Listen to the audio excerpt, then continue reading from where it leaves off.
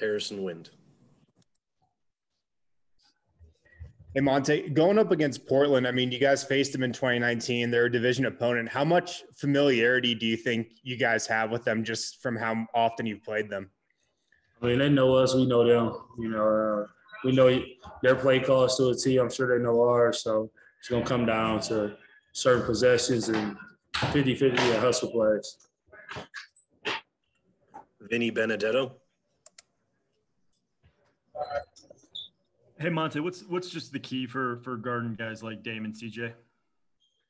I mean, they good players. You just gotta, you know, make it try to make it as uncomfortable as possible. Um, they're gonna make crazy shots, you know, tough shots. I'm sure they work on that people think crazy, but you just got to go with the game plan and uh, just try to make it as tough as possible on those guys. Wear them out on both ends and don't let them rest on the defensive end. Mike Singer. Hey Monte, what did uh, preparation look like yesterday, and how was uh, and what did you guys discuss at your team dinner? I mean, we just went over the keys and we were successful against them, and when we weren't successful, and how they thrive and how they get points, and just a recap on our season and you know where our goals are. So dinner was good, and um, you know yesterday was just a workout day. You know today was all together practice. Katy Winge. Hey, Tay, kind of a unique situation this year. Obviously, last year was in the bubble, but now you will be traveling to Portland. They'll be coming to Denver. How much do you think the fans will have an impact on these games, and especially because there'll be different number of fans allowed in, in every arena in NBA? Uh, I think I think the fans uh, it'll be big. Um, the fans we already had in there made a difference. So I know I think we're increasing it some. So I think uh, the home court advantage would definitely be in our favor, you know, and you know our fans bring it to a different level in the playoffs, you know, as we've seen in 2019. So um, looking forward to it. Um, it should be a, a, great environment to play some playoff basketball. Stay with Katy Winge. And then Tay, just for you personally, like where are you hoping to improve most in this playoff run? And how's your health? Uh, my health fine. Um, I'm fine. My hamstring is healed, you know. Um, so I'm ready to go. Just, just to prove, you know, just prove to everybody, you know, that you know our team is real, real good, and myself, you know, I done got better. You know, even missing, you know, significant games I missed.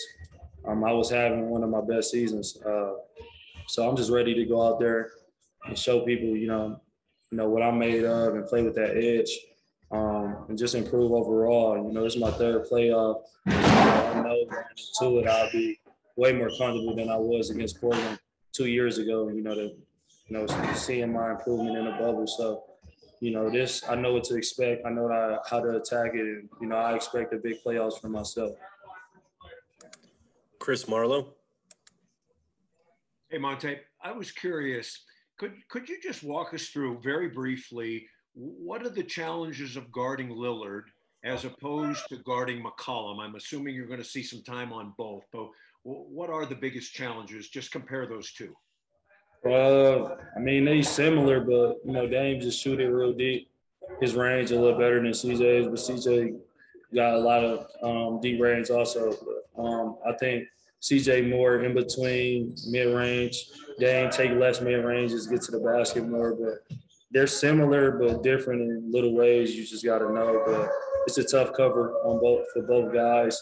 You got to be locked in every possession. You know they run, you know, mostly all the offense through both those guys. So if we're able to slow down one of them, I feel like we give ourselves a great chance um, through this seven game series.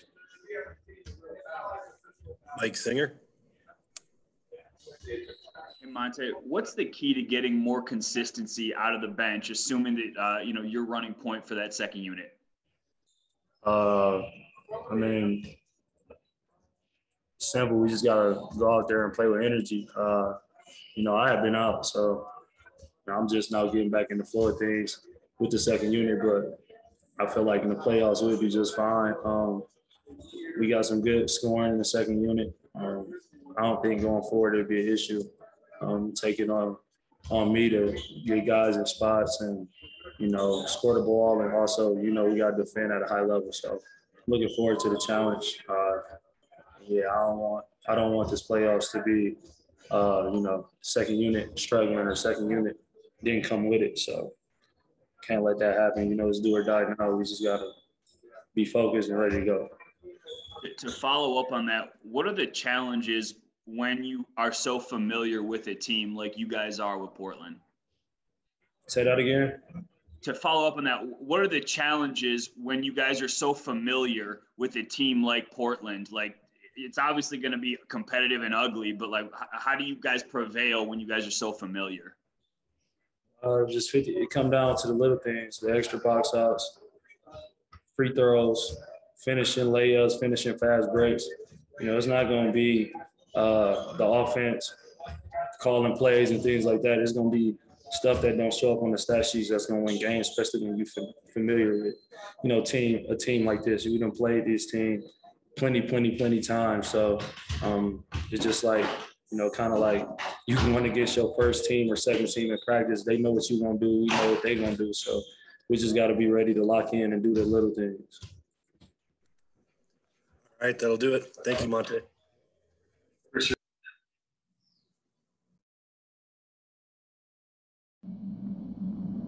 Thank you.